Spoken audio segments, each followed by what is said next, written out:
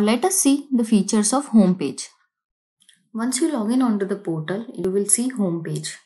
So homepage will display number of open orders, number of closed orders, number of contracts, and number of open queries.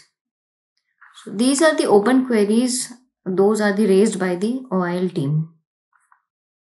To see number of open orders, you can click on open orders and you'll be able to see all the open orders here. Similarly, to see closed orders, you have to click on closed order link and you will be able to see all the closed orders. We have contracts. When you click on contracts, you will be able to see all the contracts available for that particular vendor. Again, you have to go back to home page. And when you click on open queries, so you will be able to see all the open queries related to this particular vendor. Also in home page, we have given a filter where you can filter the data based on the days.